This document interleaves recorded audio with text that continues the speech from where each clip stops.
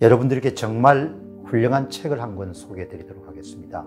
이 책은 세계사의 중요한 사건과 관련한 또 중요한 인물과 관련된 예화라든지 그런 흥미로운 이야기를 함께 싣고 있기 때문에 전혀 지루하지 않게 읽어 나갈 수 있는 그런 책입니다. 여러분께 정말 아주 강력하게 추천하고 싶은 책이 기독교로 보는 세계 역사입니다. 아, 여러분 대개 이제 첫 제가 서문을 열 때 매일 방송에서 조금 부드러운 주제를 이렇게 선택하는데 오늘은 막 이제 방송을 시작하기 전에 예, 방송 준비를 다 마치고 이제 조금 예, 시간을 휴식 시간을 가지려고 하는데 어떻게 예, 유튜브에 떠올라 있는 뜬금없이 SBS 방송이 이 선거 부정 문제를 다뤘네요. 그래서 이 사람들이 무슨 바람이 불었나 그런 생각이 물론 뭐 그 담당자가 하는 이야기가 뭐 그렇게 신뢰할 만한 그런 이야기 아닌 그런 이야기들이 많았지만 그 SBS 이름들 프로그램이 이 끊이질 않는 부정선거 논란 이번 총선도 비상 기계 동원된 개표 믿을 수 있나? 예, 뭐 귀에 빡 종은 뭐 이런 내용을 예, 나와 가지고 예, 한 많이, 많이는 보시지 않고 한만 사천 명 정도가 봤네요. 표를 찍는 자는 아무것도 바꾸지 못한다. 표를 세는 자가 모든 것을 바꾼다. 뭐 이렇게 언젠가부터 한국도 미국도 표를 세는 과정에 의혹을 제기하는 사람들이 많아지면서 선거가 끝날 때마다 부정선거 의혹이 일고 있습니다. 그리고 뭐 언모론 뭐 이런 이야기를 예, 실은 겁니다.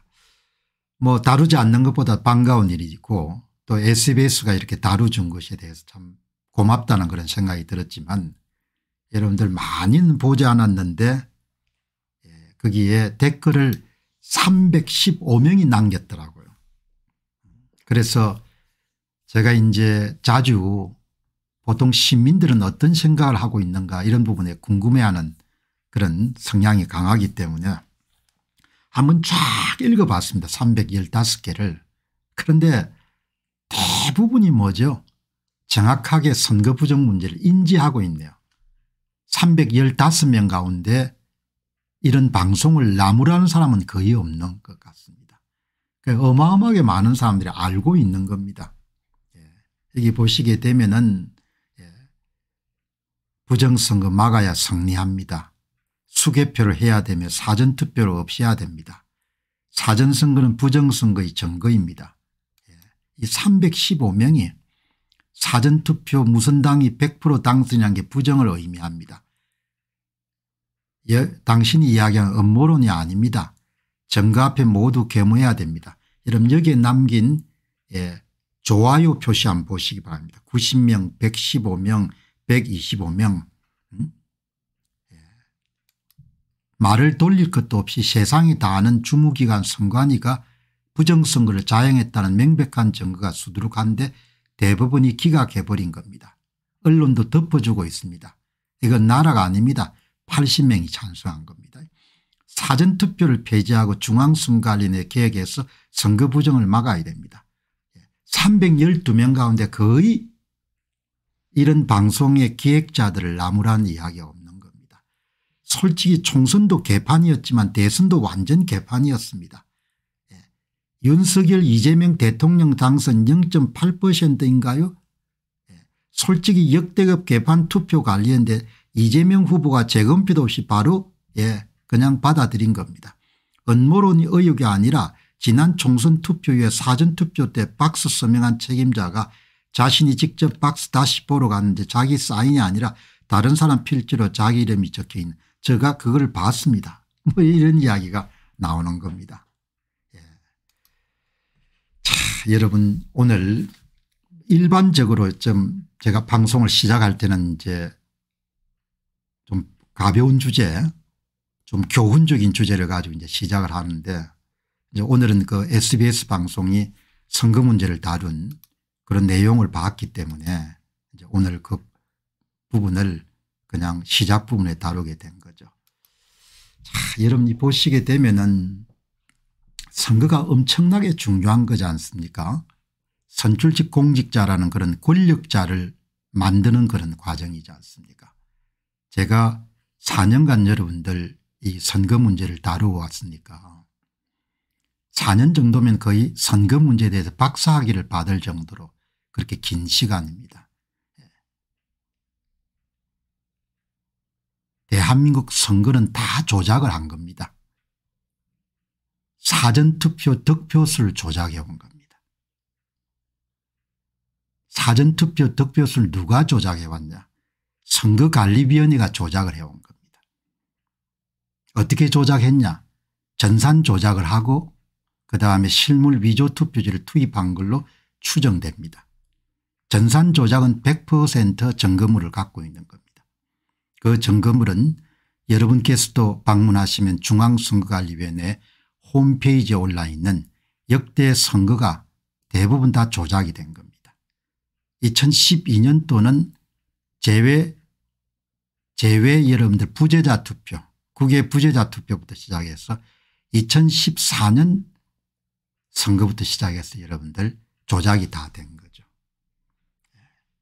그것은 그냥 억지나 주장이 아니고 중앙선거관리위원회가 조작해서 발표하고 공개한 후보가 받은 득표수 자료를 분석해 가지고 그 자료를 만드는 데 사용한 전산 프로그램을 다 찾아낸 겁니다. 그래서 선관위가 조작해서 발표한 그 선거 데이터에 로부터 시작해 가지고 조작되지 않는 상태의 그런 선거 데이터까지 다 복원이 가능하고 조작값도 여러분들 다 발각을 해냈고 그리고 전산 프로그램이 어떤 식으로 돌렸는지 몇 장당 한 장의 소위 사전투표지를 집었는지가 다 찾아진 겁니다. 조작 방식은 사전투표율을 실제보다 부풀려 가지고 예, 유령 사전투표자 수를 만든 다음에 그것을 집어넣는 방식을 사용해 왔지 않습니까 이게 지금 대한민국의 반도체를 만드는 나라고 교역 국가들 가운데서는 10위권에 여러분들 안에 들어가 있는 국가지 않습니까 투표의 개표라는 것은 그냥 수학이 아니고 산수입니다 산수. 그 산수에 무지막지한 여러분들 조작이 있었는데 그거를 대통령이야 모든 사람이 다 덮, 덮는 겁니다. 여러분 오늘 방송 보시면서 이 나라가 앞으로 온전하겠습니까 저는 온전하기가 어렵다고 생각하기 때문에 이렇게 외치는 겁니다. 이번 선거처럼 정상선거 되겠습니까 제 이런 판단은 정상선거가 될 수 없을 겁니다. 10번에서 11번 정도 이런 전산 프로그램을 돌려가지고 후보의 득표수를 다 만들었는데 이번 선거가 이런 11번째 12번째 선거가 정상선거가 되겠다. 그걸 어떻게 믿을 수 있겠습니까 제가 한국 사회를 보게 되면 사회가 완전히 맛이 가버린 겁니다. 지성이고 나발이고 이러면 아무것도 없는 겁니다. 자식들하고 앞으로 어떻게 살 겁니까 있는 사람들 나가면 그만인 겁니다. 진짜 반성해야 되는 겁니다. 이 여러분들 방송을 한 이 SBS 여러분들 이 기자분도 혼자서 이야기를 할 수 없겠죠. 누군가 또 원고를 다 써야 되고 하니까 다 당신들 일이다 이야기예요. 우리는 살 만큼 살았으니까 20년 살면 덤이고 30년 살면 땡이고 10년 살면 그냥 뭐 문제 없고 5년 더 살아도 뭡니까 그냥 된 겁니다. 평균 수명을 따지게 되면 60줄까지 살았으니까 더 사는 것은 다 덤인 거죠. 솔직히 저하고는 별로 관계가 없는 겁니다. 그러나 나서 자란 사람이고 나라고 하니까 안타까운 마음에 이런 이 주제를 4년간 붙잡고 있는 겁니다. 과학적으로 모든 것이 밝혀진 상태지 않습니까 얼마나 여러분들 그렇게 사람들이 거짓되고 위선적이냐 이야기죠. 도대체 앞으로 여러분들 부정선거를 통해서 모든 선출직 공직자를 다 만들어낼 수 있는 그런 사회에서 우리가 어떻게 살겠냐 이야기죠. 내 거듭 이야기하지만 있는 사람들은 다 나가면 그만이다 이야기죠. 어떻게 그렇게 사, 이러면 다 침묵하고 거짓말하고 그렇게 살 수가 있겠습니까 다 쇼를 하지 않습니까 예.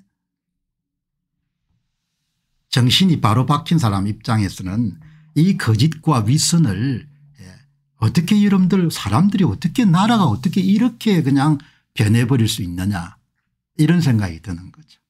예. 여러분 이번에 또 합니다. 이번에 제 여러분들 4월 10일 총선의 관전 포인트는 딴 게 아닙니다. 얼마나 집어넣을까 세 장당 한 장 집어넣을까 4.15 총선처럼 진짜 투표지 두 장당처럼 가짜 한 표 집어넣을까 2023년 10월 11일 강서구청장 보궐선거처럼 그거가 관전 포인트인 겁니다. 마치자마자 여러분들 뭡니까 한 3, 4일 안에 다 여러분 전국의 전수조사로 다 밝혀낼 수 있는 겁니다. 밝혀내면 뭐하나 이야기죠. 다 선거 끝났는데.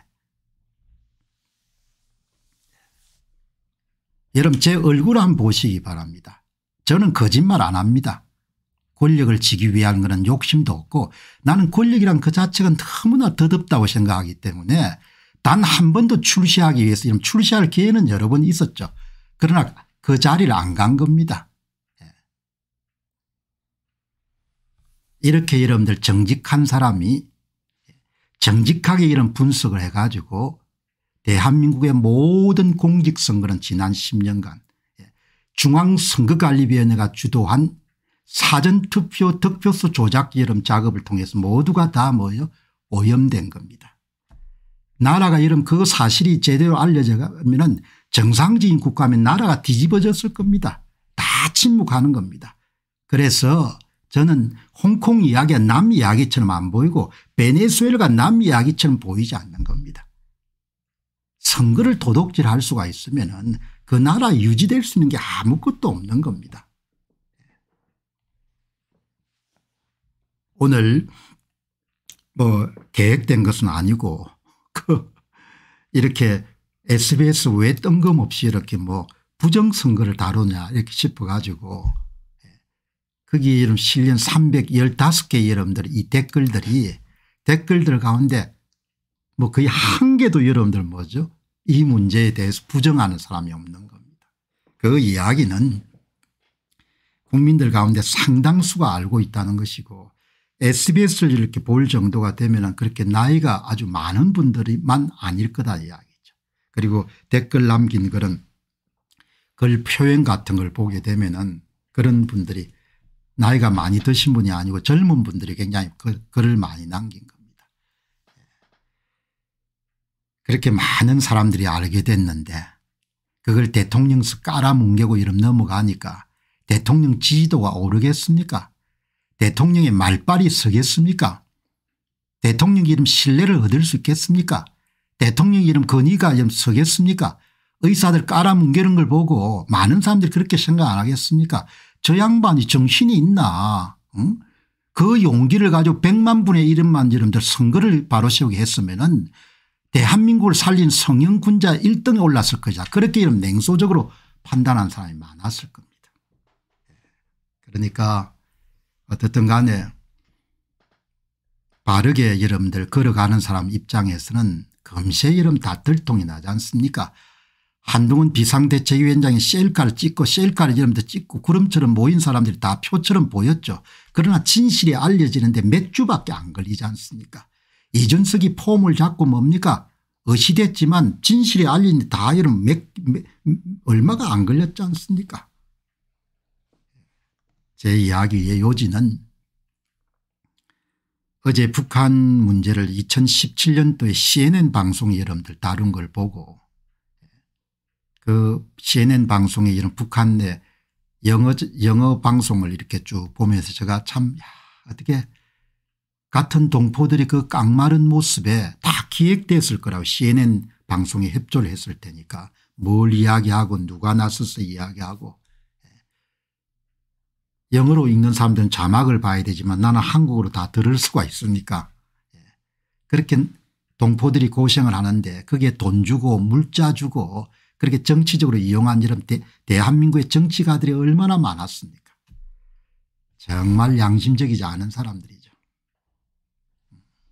그 체제에 그 사람들을 해방하기 위해 가지고 적절한 노력을 계속 기울였어야 되는 거지 않습니까 아무튼 간에 뭐 악이란 것이 계속 승리할 수가 없으니까 예, 뭐이 문제도 이제 조만간에 아마 해결이 될 것이다. 그렇게 생각을 합니다. 안녕하십니까 공병호입니다. 그동안 공병호 tv는 선거 공정성 회복과 자유민주주의 체제의 보존과 발전을 위해 노력해 왔습니다. 이런 노력들이 지속될 수 있도록 공병호 tv의 전기 후원 프로그램이자 멤버십 프로그램을 소개해 드립니다. 뜻 있는 분들의 관심과 동참을 부탁드립니다. 선거 공정성 회복을 위한 노력을 지지하시고 훌륭한 나라 만들기에 동참하시는 시청자분들이시라면 구독 버튼 바로 옆에 있는 가입 버튼을 통해서 정기 후원 프로그램에 가입할 수 있습니다. 가입 버튼을 누르시면 공병호TV의 후원자가 되시게 됩니다. 여러분의 후원이 선거 공정성 회복을 위한 노력에 힘을 더할 수 있을 뿐만 아니라 자유민주주의 체제의 수호를 그리고 발전을 통해 여러분과 후손들의 삶에 빛과 소금이 될 것입니다. 특히 그동안 공병호TV는 선거 공정성 회복을 위한 노력 과정에서 채널 성장에 제약이 가해지는 불이익을 감수해왔고 지금도 그런 불이익이 계속되고 있습니다. 그럼에도 불구하고 너무나 중대한 문제이기 때문에 공병호 TV의 노력은 계속될 것입니다. 여러분의 깊은 관심을 부탁드립니다. 감사합니다.